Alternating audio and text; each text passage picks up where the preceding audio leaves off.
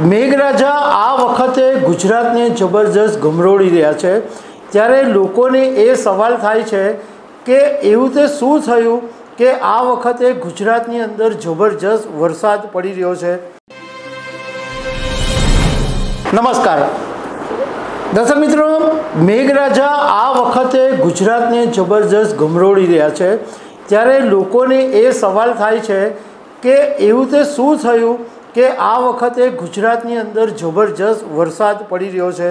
એના કારણો વિશે હું તમારી સાથે વાત કરીશ. મારું નામ રાજેશ શાહ છે અને તમે જોઈ રહ્યા છો ખબર છે ડોટ કોમ.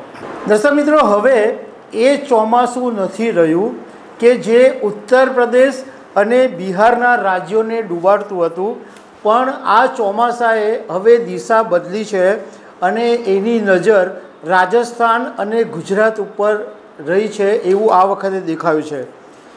એટલે આ વખતે પશ્ચિમના ભાગમાં આવેલા આ જે સૂકા રાજ્યો છે, એની અંદર ભયંકર વરસાદ પડ્યો અને એનું જે કારણ છે, એ અરબી સમુદ્રની વધી રહેલી ગરમી, સતત આબોહવા પરિવર્તન એટલે ક્લાઇમેટ ચેન્જ અને દેશની અંદર સપાટી, પાણી અને હવાના તાપમાનમાં વધારો જોવા મળી રહ્યો છે એ મુખ્ય કારણ છે. ગુજરાતની અંદર લગાતાર જે ભયાનક વરસાદ પડી રહ્યો છે, એ આવો પ્રકારનો વરસાદ ભાગ્યે જ કોઈ વખત જોવા મળ્યો હોય. ગુજરાતની અંદર જે છેલ્લા દિવસોમાં વરસાદ પડે છે, એવો વરસાદ જોવા નથી મળ્યો.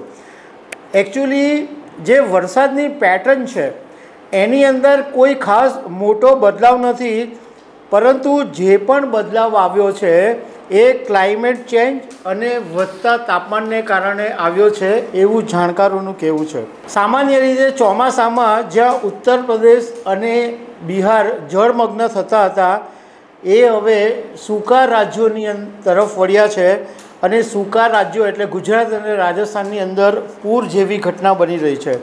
રાજસ્થાનના, રાજસ્થાન રણ પ્રદેશ કહેવામાં આવે છે, પણ આ રણ પ્રદેશની અંદર પણ આ વખતે જિલ્લાઓ પાણીમાં ડૂબી રહ્યા છે અને ગુજરાતના જે દરિયા કિનારાના વિસ્તારો છે, એની અંદર પણ પૂર આ વખતે જોવા મળ્યું છે.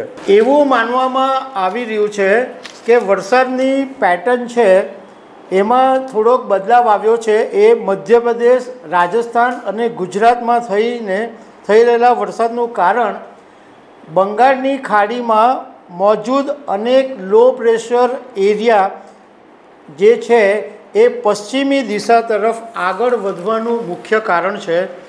સામાન્ય રીતે એવું હોય કે બંગાળની ખાડીમાં જે લો પ્રેશર બને એ ઉત્તર પશ્ચિમ દિશા તરફ આગળ વધતા હોય છે અને એનો જે રૂટ હોય એ બિહાર, ઉત્તર પ્રદેશ, હરિયાણા અને પંજાબ તરફનો હોય. આ સામાન્ય રીતની વાત છે. પરંતુ અને એ જે ઉત્તર પ્રદેશ, બિહાર, પંજાબ અને હરિયાણા રૂટ પર જાય અને રસ્તામાં વરસાદ કરીને એ લો પ્રેશર આગળ વધતું રહે એવી એક સિસ્ટમ હોય છે. પરંતુ આ વખતે લો પ્રેશરની જે સિસ્ટમ છે એણે રૂટ બદલ્યો છે અને એ રૂટ મધ્યપ્રદેશ મહારાષ્ટ્ર, ગુજરાત અને રાજસ્થાન થઈને પશ્ચિમ તરફ જઈ રહ્યો છે. વ્યક્તિગત આગાહી કરનાર સ્કાયમેટ જે વેધર, સ્કાયમેટ વેધર વેબસાઇટ છે, એના વાઇસ પ્રેસિડન્ટ મહેશ પલાવતનું માનવું છે કે ક્લાઇમેટ ચેન્જ જે છે, આબોહવા પરિવર્તન, એ સૌથી સૌથી મોટું કારણ છે, જેના કારણે રાજ્યોની અંદર વરસાદની પેટર્નમાં થોડોક બદલાવ આવ્યો છે. એમણે એમ કીધું કે આ વર્ષે બંગાળની ખાડી ઉપર ચાર લો પ્રેશર અને બે ડિપ્રેશન રચાયા હતા. આ બધા ભેગા થઈને પશ્ચિમનો રૂટ પકડ્યો હતો. જો કે ભારતીય હવામાન કેન્દ્રના વૈજ્ઞાનિક છે સોમા સેન રોય એમનું કહેવું છે કે એ વાત સાચી કે પશ્ચિમ બંગાળ તરફ અનેક લો પ્રેશર એરિયા બન્યા છે. અને તેની અંદર સતત વધારો થઈ રહ્યો છે, જેને કારણે ભારે વરસાદ અનેક રાજ્યોની અંદર પડી રહ્યો છે.